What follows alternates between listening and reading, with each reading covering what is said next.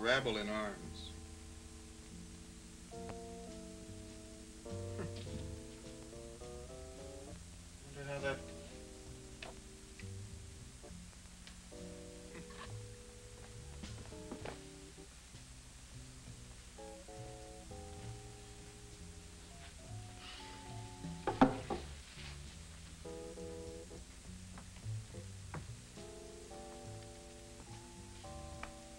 Hello, Johnny. Who's there? John Smith, I believe. That's right. Who are you? I'm a Smith, too. Jonathan Smith. I locked the window. You must have got in here before me. a long time before. You one of them? Them who? Oh, these ain't hippie clothes. This is what I wore back in uh, Salem. When? 1770s. what kind of put on is it? Put on? That's right, a gag a joke. This ain't no joke. Well, you look like... Like you? Could be. I'm your great, great, great, great, great, great grandfather, Johnny. I gotta be dreaming this. You're crazy. Or I am. The whole world's gone crazy if you ask me. Them young yahoots out there on the common. Common? Uh oh, you mean the campus. Milling around like a, a bunch of young Shawnees trying to work themselves up on the warpath. Were they heading this way? They don't know where they're heading any of the time. That's the crazy part of it. No, no, I mean tonight. Near as I could tell, they were trying to think up something to burn. I did hear mention the, uh, the college library. Uh, is this, uh, is this it? Yeah, this is it. Well, then you're helping him. No. then you're getting him. No, not really. Now, look, son, you can't stand on both sides of the fence at once. you can't be my great-great, well, whatever you say.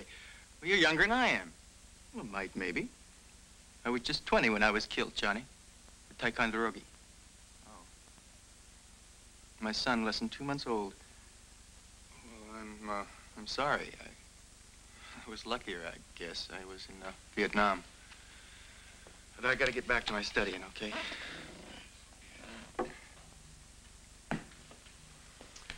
Ah, it's a funny thing. About being killed, I mean.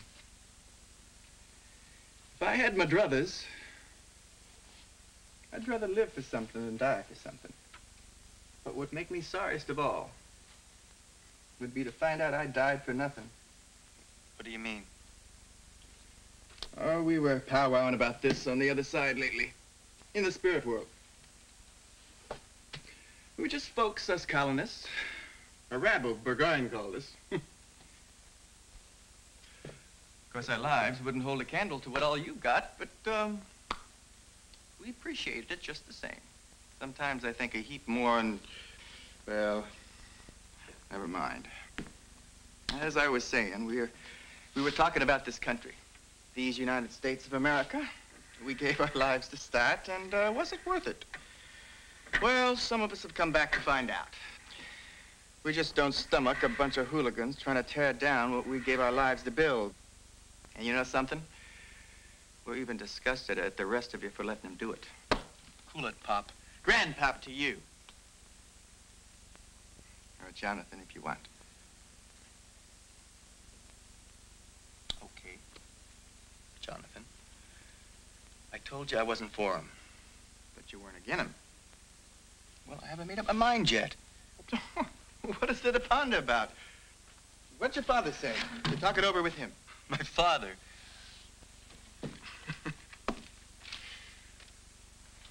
I haven't seen him since high school. He just took off one day, and it was that. I'm sorry I didn't know. That's okay. I'm getting over it. Mom's remarried, though. This time to a real no-goodnik. That's when I left home. Well, in our day, home was about all we had. And our religion, of course. Family life was our way of life. Our family and our religion They kept us straight. If a fellow wanted to go wrong, he had to work at it. But today, well, home just doesn't seem like home anymore. Who needs it? Not me. That's because you haven't found the right girl. I've found dozens of them. But why keep a cow when uh, milk's so cheap, huh? Now, don't talk like that, Johnny. I reckon it's hard not to be bitter over a broken home. But you are responsible for you. Besides, you're a stripe above those rowdies out there. You don't have to sink to their level. They're young yet. They do and say a lot of crazy kid stuff, but that's what they are. They're just kids. Even so, they, what they come up with makes a lot of sense. Look, you are revolutionary. Well, they're revolutionaries. What did you say? You're, you're calling us look like a rabble? Well, God knows most of these kids don't look like anything human. You're right, Johnny. God does know. And he's been real patient about it so far, don't you think? But don't compare that riffraff to your founding fathers. We were making a place where people could worship God. And these people want to deny God and want to deny him to others. And what do they offer instead? We thought of only building something. And these people think of only what they can destroy. And again, I say, what do they offer in its place? Well, they say, in order to build a better world, you got to destroy this one. and that's one of the things they say you think makes sense. Look, uh, I got to find a book up there for this paper I'm writing. If we have any visitors, they're likely to come in this way. The door's locked, but you never can tell. Would you mind standing guard over the door while I'm up there? If you hear anybody fooling around, well, uh, give me a whistle, okay? Sure.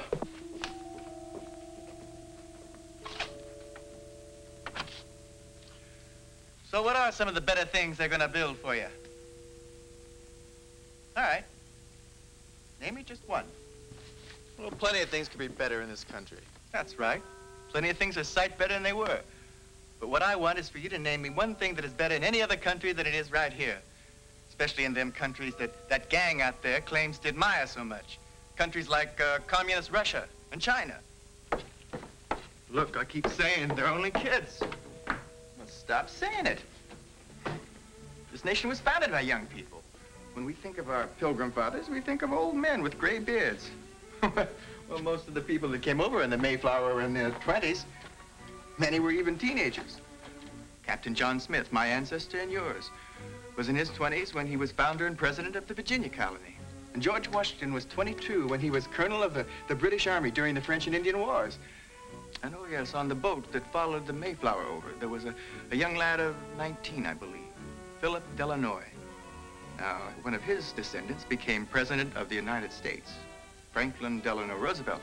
but the founding father was only 19. That I had forgotten, that they were kids too. Oh, no, they, let's say they were young people. There's a difference. They were young people who believed in God. Now, the weirdos of today, they deny God. And you know why, don't you? They have to. Because as long as people believe in God, then... Shh. What's that?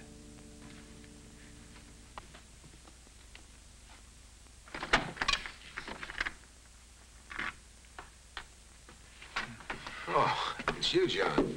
Good evening, Dr. Hardin. Hello, I uh, saw the light. Oh, well, I'm uh, knocking out of paper on heartbeats of uh, turtles. With a baseball bat? Oh, well, uh, I saw it outside the field house on my way over here. Well, I heard some voices. I thought maybe someone was in here with you. What's this? What is it?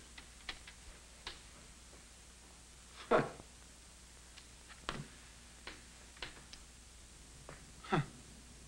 Coat button. Yeah, but it's a pine tree coat button like men used to wear in the Revolutionary days. I Suppose it came off of one of those hippies' costumes or something, huh? Thought maybe some of those SDSers might be in here. You know, the students for a dirtier society. Got a tip that uh, they might try and sneak in here and vandalize the place, you know? Say, you didn't hear anything about that, did you? Of course, I know you're not one of them. Oh, heard a little something, nothing definite. Why didn't you report it? Look, I'm no stool pigeon. Well, I guess you had something in mind, huh? No. Not as long as they stay out of this room. Oh?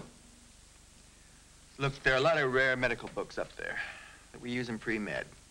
They're not only valuable, they're irreplaceable, and I'm not going to let anybody burn them. You think you can stop them by yourself? They gotta come up this way. And they gotta come up one at a time. Maybe you can do it alone. What about the rest of the library? That's not my responsibility. Oh, and this is, huh? Well, this is different. In what way? It makes a difference whose ox is God. What did you say? I didn't say it, he did. Who are you? You one of them out there? Mister, that's a question I'm getting mighty tired of answering, if you don't mind. He's um, a distant relative of mine. Jonathan Smith, Professor Harden, History Department. Oh, Jonathan, I, I, I beg your pardon. Pardon me, Professor. What was it you were saying about whose ox is being gored? Well, it's an old saying. When trouble hits somebody else, we say it's too bad, but we bear up under it. But let the same thing happen to us. Well, that's a different story. We try to do something about it. Your relative's right, you know, John. Well, There's more to it than that. I mean, there's certain rights involved here I happen to believe in. Well, I may not agree with everything they say, but uh, what's the clarion rest of it? I'll defend their right to say it. Well, that's what democracy's all about, isn't it? I mean, free speech, including the right of dissent, and human rights over property rights. All right? Oh, boy. if you ever heard such bunkum, read your Constitution. There it is. You see, that's the irony of it, Jonathan. They always piously invoke the very Constitution they want to destroy. And furthermore... Wait just a minute, John. Look, if we're, if we're going to have any kind of a meaningful dialogue here, then I can't let you just spell out a mouthful like that and go away and leave it, okay? Right on. Are these rights you were talking about? Human rights over property rights. What human rights are violated by this library being here? And what possible human rights could be furthered by destroying it? Well, it'll, it'll shake people up, call attention to other people's needs. What people? What needs? You say pre-med needs? All right, well, pre-med only makes up one part of this university. What about the law students? What about the, the scientists, the engineers, the political economists? Hmm? I mean, they all have a need for this facility. The property of the building was built, the, the books carefully accumulated from the contributions of, of thousands of people who will never even see them. Ordinary people, older people mostly, who gave their money for what? For what purpose? So that you and other young people like you today, next year, years to come, can help to find a better education, to live a better life. And what makes you think you can disassociate your property rights from human rights anyway? You see, John, you don't have to own property to have property rights in it. Hmm? All right, you're studying now to be a doctor, right? That means you'll be interning at some hospital around. There, you'll be working with equipment costing millions of dollars, millions. I'm gonna have to mine what, uh, two million volt X-ray therapy machine costing, what I don't know, $150,000. Now, wouldn't it be a serious infraction of both your property rights and your human rights if that wonderful machine were destroyed just to shake people up, wouldn't it? Maybe I ought to give you a closer to home, more practical example of what I mean. Take what happened right here in Clovis last summer. The riots, the burning, the looting. Oh, a lot of stores were destroyed there. Among them, a, a drugstore, a grocery store, and a five and ten cent store. Now, those stores have not been rebuilt. Now, the senseless, irresponsible destruction of those properties was a far greater blow to the human rights of the people of that community. That was unfortunate. But you know what they say. You're gonna make an omelet, you gotta break a few eggs. Oh, John. Yeah, and I've noticed the ones who say it, it's not their eggs. They're not talking about just breaking a few little eggs. They're talking about smashing human lives. And they call it the, the right of dissent. Sure, we have the right of dissent in America. You realize how much dissent you would dare voice if you lived in Russia or, or China or one of the other communist countries that they profess to admire so much? One little peep, bang, kaput. Sure. The right of dissent is a very real and precious part of America. Its power has helped bring about some of our most cherished social and economic advances. But even in America, the right of dissent is not the right to destroy.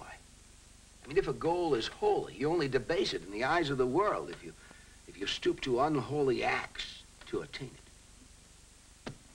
You call free speech an unholy act? Free speech. It's a beautiful concept that's been deliberately fouled up. Freedom of speech is now freedom of filth.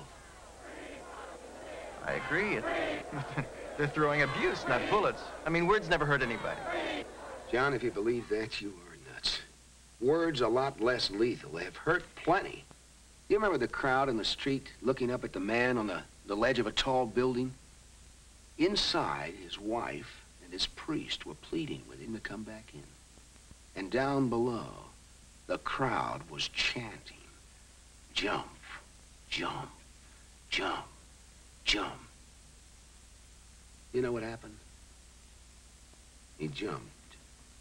The words killed him. And the people down below shouting those words were murderers. And what's happening on high school and college campuses, huh? There should be more shooting than looting. That's the only thing I agree with. Black folks trying to loot when they should be shooting. If you're gonna loot, loot your gun store. Rabble rousers like Rap Brown calling on student bodies to carry guns. Well, as you can see, words breed guns and more guns, and retaliatory guns, bombs, and killing. All part of this freedom of filth. Filthy language no decent person would speak. Filthy books and magazine no decent person would read. And filthy movies and stage shows no, no decent person would sit through. All of this filth. To what purpose? Fast buck, I suppose. No, no, that's not the purpose. That's the, the lure. Lure. Sure. But the single, all-out, deadly purpose is the destruction of this country. See, our enemies, headed and masterminded by worldwide communists, they found out that they can't destroy us from without until first they weaken us from within. And John, they think they can do it. They have every reason to think so. Historian Arnold Toynbee points out that's how 19 out of 21 nations have gone down the drain before us. Internal decay. The breakdown of moral, ethical, and religious principles. That's what I tried to tell him. The ragtags have to deny God, because as long as people believe in God and his laws of decency, then they won't go along with what these lowlives want to do. To create an atmosphere of general acceptance to all kinds of degeneration. And to sell their propaganda, they need a lure. The fast buck, huh?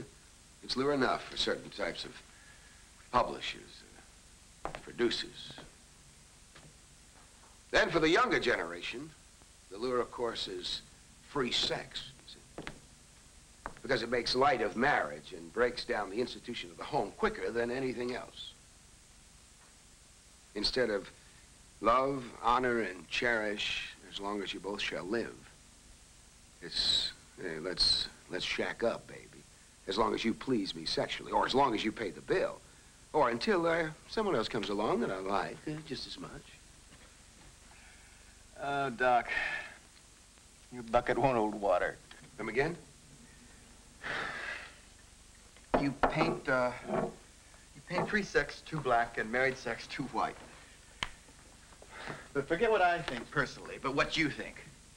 Your own university doesn't agree with you. Here. Here's this year's catalog. Turn to page 27. I know what it says on page 27, or rather what it doesn't say. Right. And it only took two years.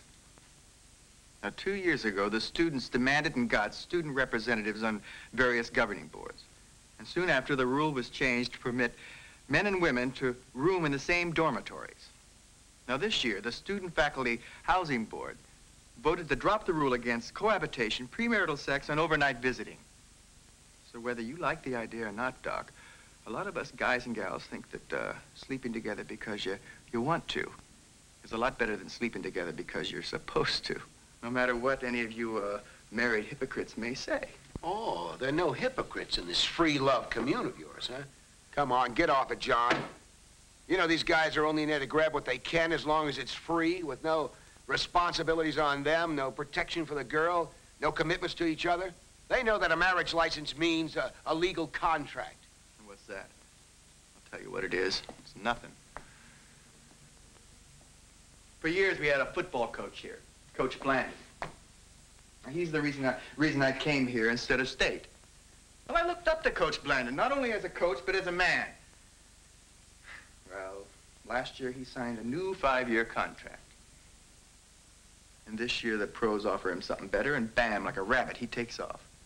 Well, he jumped his contract, his legal contract, and left us just like that. so don't talk to me about honoring contracts, hmm? John, you have every reason to admire Coach Blandon. He's every inch the man you thought he was. Mm-hmm. And there's certain circumstances I could explain to you sometime when you're not engaged with that cigarette. This? Yeah, it is marijuana, isn't it? It's only a question of time before it's legalized. Let's not smack, you know. I don't go for heroin. No, no one goes directly to heroin. But nearly everyone on heroin started with marijuana. That's why there are people that want to legalize marijuana. They figure if they can get the young people of this country onto hard drugs, they can destroy your generation, or in this generation. Now, Doc, let us not get uptight. The drugs have already gotten a frightening hold in this country, mostly on our young people. Drugs are the reason why our crime rate is climbing ten times faster than our population. Well, this is a nation that's in serious trouble. Well, I hope you're not blaming young people for all of it. Have you ever heard of unemployment? Most young people can't even buy jobs. For years, we've been told, get a college education. To get good jobs, you need an academic degree. Well, academic degrees are lucky to be sweeping floors, and that's not our fault. You said it. This world's in bad shape. Well, it's a world we never made. oh, and America wants to make love, not war. wow. Well, so who doesn't?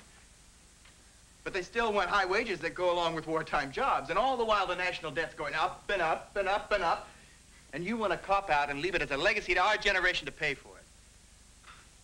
You bleed about this country being in serious trouble. Wake up, Doc. This country's already over the brink. It's down the drain. You talk about an America that, that no longer exists. Sit down, Doc. What did you say? I said sit down. Those are our commandos out there.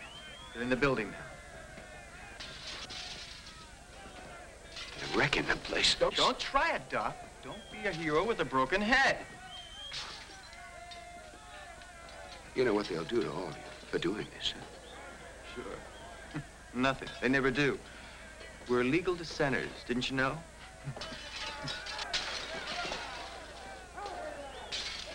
Hear that out there? That's your generation going down out there. Don't fool yourself into thinking that we're just a few. no, we've got chapters on more than 200 campuses. And we've got more than 40,000 members, a bunch of them right out there. Some on your faculty. But you keep believing it. You keep saying it's only a few. It helps you sleep any better. Gives you an excuse not to do anything, doesn't it? Well, that's what we're counting on. Your beautiful gullibility. Your stupid do nothing about it. That all helps us wreck your establishment. Baby, we are the new revolutionaries. Jonathan, where'd you get that? Don't tell me you brought it with you. nope. Found it in the museum. No powder shot, though. I promise you, you and your commandos will pay for this. No way. If we had to pay for wrecking things, we had to stop long ago.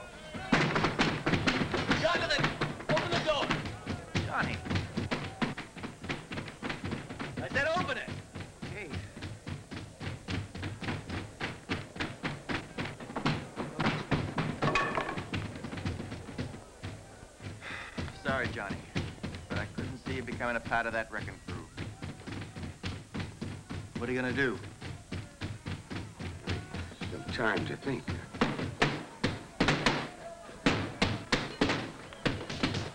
You better think fast, Professor. You don't have much time left.